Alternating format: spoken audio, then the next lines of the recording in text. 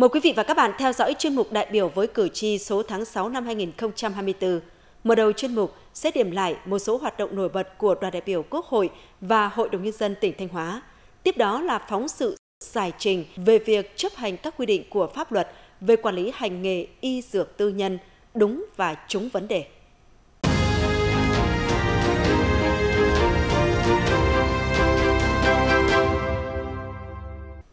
Thưa quý vị và các bạn, chuẩn bị cho kỳ họp lần thứ 20 Hội đồng Nhân dân tỉnh khóa 18, các tổ đại biểu đã tiếp xúc cử tri các địa phương trong tỉnh nhằm thông báo với cử tri dự kiến nội dung chương trình kỳ họp thứ 20 Hội đồng Nhân dân tỉnh khóa 18, báo cáo tóm tắt tình hình kinh tế xã hội tỉnh Thanh Hóa 5 tháng đầu năm, nhiệm vụ trọng tâm những tháng còn lại của năm 2024, đồng thời tiếp thu ý kiến kiến nghị của cử tri gửi tới kỳ họp.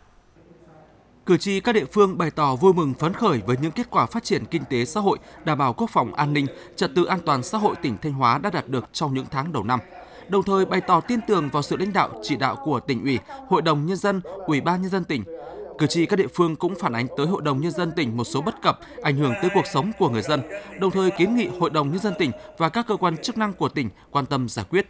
Các ý kiến xác đáng của cử tri đã được các tổ đại biểu Hội đồng Nhân dân tỉnh tiếp thu, chuyển đến các cơ quan chức năng và tổng hợp báo cáo Hội đồng Nhân dân tỉnh. Từ ngày 20 tháng 5 đến nay, đoàn đại biểu Quốc hội tỉnh Thanh Hóa đã tham dự kỳ họp thứ 7 Quốc hội khóa 15. Nhờ sự chuẩn bị chu đáo trách nhiệm, tại kỳ họp thứ 7 Quốc hội khóa 15, đoàn đại biểu Quốc hội tỉnh Thanh Hóa đã tham gia nhiệt tình sôi nổi các vấn đề Quốc hội thảo luận, đóng góp nhiều ý kiến phát biểu ở các phiên thảo luận tại tổ và thảo luận trực tiếp tại hội trường. Những hoạt động của đoàn đại biểu Quốc hội tỉnh Thanh Hóa đã góp phần vào sự thành công chung của kỳ họp, thể hiện được vai trò là người đại diện cho ý chí và nguyện vọng của nhân dân.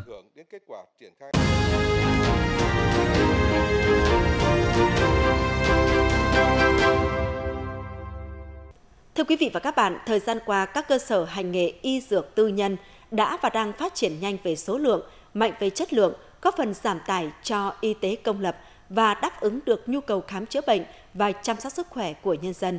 Tuy nhiên, quản lý hành nghề y dược tư nhân cũng đang phát sinh nhiều bất cập tồn tại cần phải được nâng cao hơn nữa để hoạt động này thực sự có nề nếp, đúng các quy định của pháp luật. Chính vì vậy, Thường trực Hội đồng Nhân dân đã tổ chức phiên giải trình về nội dung này. Việc lựa chọn vấn đề này được coi là trúng và đúng khi đáp ứng được đòi hỏi của xã hội. Hiện tỉnh Thanh Hóa có 1.553 cơ sở hành nghề y tư nhân và 3.950 cơ sở kinh doanh dược. Ngoài các cơ sở được cấp phép, trên địa bàn tỉnh vẫn còn nhiều cơ sở hành nghề y dược không phép ngang nhiên hoạt động. Cụ thể, theo báo cáo của Sở Y tế, năm 2023, toàn tỉnh có 310 cơ sở hành nghề y dược không phép hoặc chưa được cấp phép. Trong số 178 cơ sở khám bệnh chữa bệnh không phép và 132 cơ sở kinh doanh được hoạt động khi chưa được cấp phép. Mặc dù số cơ sở hành nghề y nhiều nhưng đa số quy mô còn nhỏ lẻ, chưa có nhiều các dịch vụ chất lượng cao và chuyên khoa sâu một số cơ sở hành nghề y tư nhân chưa thực hiện đúng quy định về công khai niêm yết giá dịch vụ khám chữa bệnh, công tác kiểm soát nhiễm khuẩn, xử lý rác, nước thải y tế, mẫu bệnh phẩm còn nhiều bất cập. Một số cơ sở khám chữa bệnh hoạt động vượt quá phạm vi chuyên môn cho phép, không tuân thủ thời gian hoạt động, người chịu trách nhiệm chuyên môn không có mặt tại cơ sở trong thời gian cơ sở hoạt động mà không ủy quyền cho người khác. Hoạt động quảng cáo dịch vụ khám chữa bệnh không đúng trên các nền tảng mạng xã hội gây nhiễu loạn thông tin, khó khăn cho người dân trong việc lựa chọn sử dụng các dịch vụ y tế. Đặc biệt, thời gian gần đây, nở rộ các cơ sở hoạt động thẩm mỹ không phép hoặc núp bóng dưới các cơ sở chăm sóc sắc đẹp để thực hiện các dịch vụ xâm lấn. Có vay mượn bạn để à, đóng đủ số tiền là 30 triệu. Chị bảo là nếu làm xong thì sẽ hiệu quả ngay từ ngay sau lúc làm đấy. Thì làm xong em không thấy có hiệu quả gì hết. Nhưng mà một tuần sau là em thấy hiện tượng ngực của em nó nó tức phát u ở nách Em có đi khám thì phòng khám Thành Đạt chuyển em đi tuyến trên để kiểm tra. Tại vì họ không biết là ừ, tiêm cái chất gì vào ngực nên họ không khẳng định họ không làm được.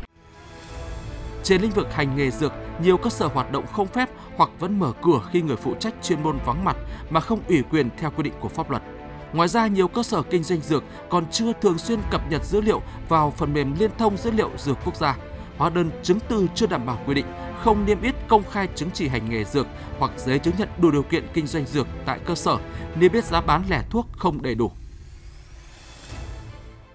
Cái à, phần thực hiện thì nói thật với anh chị là em có thực hiện nhưng mà những cái phần mới rồi thì em à, làm nó còn chưa được à, chỉnh chu lắm nên là em công việc của em nó cũng hơi bận tí nên em chưa sắp xếp lại được cái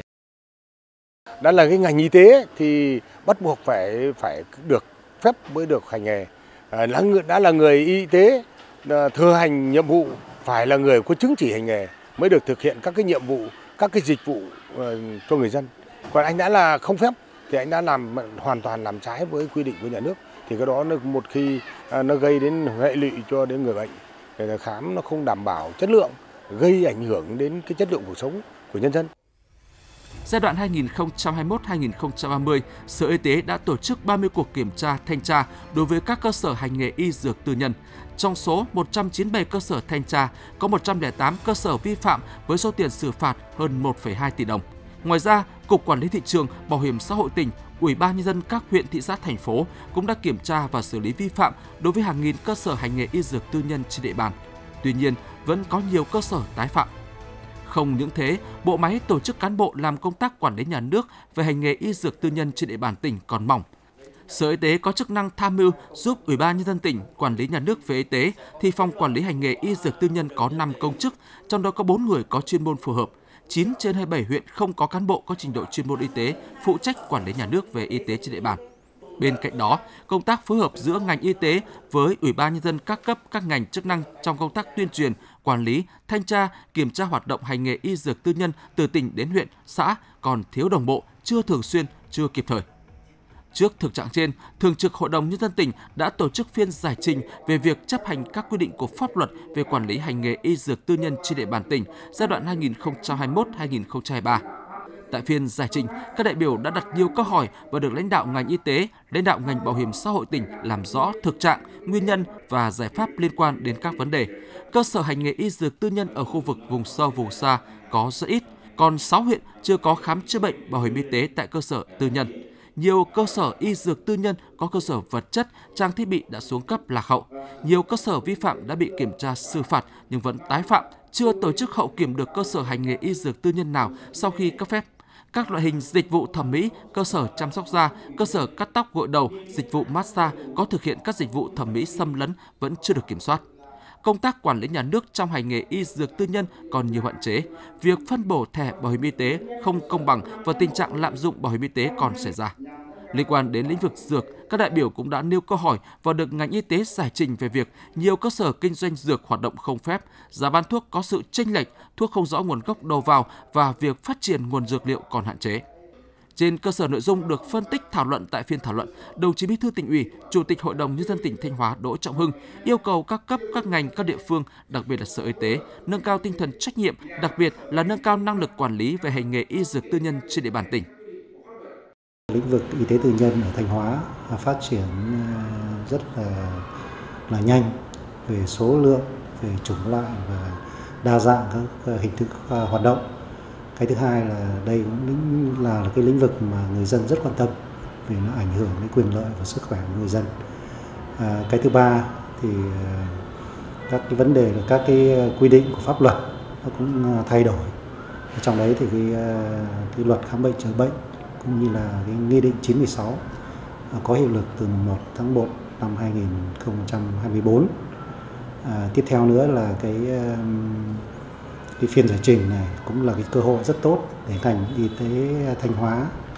à, nhìn nhận lại chính mình trong đấy để đánh giá đúng cái thực trạng tìm hiểu rõ cái nguyên nhân và đưa ra các cái giải pháp à, một cách hợp lý nhất